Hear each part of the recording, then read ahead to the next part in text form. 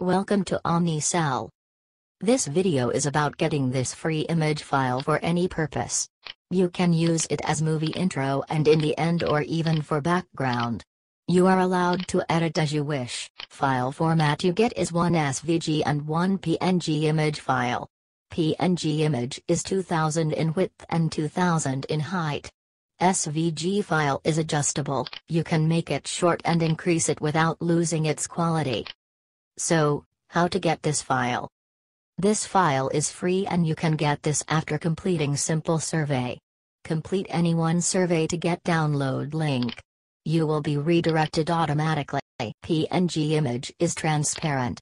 SVG vector file is added. You can make this file in any size. You would only need SVG editor like Adobe Illustrator and other similar application. This is a simple light burst image for you to enjoy without thinking about its copyright. There are many other similar images you can get on other website. Here this file is for OnEsel viewers.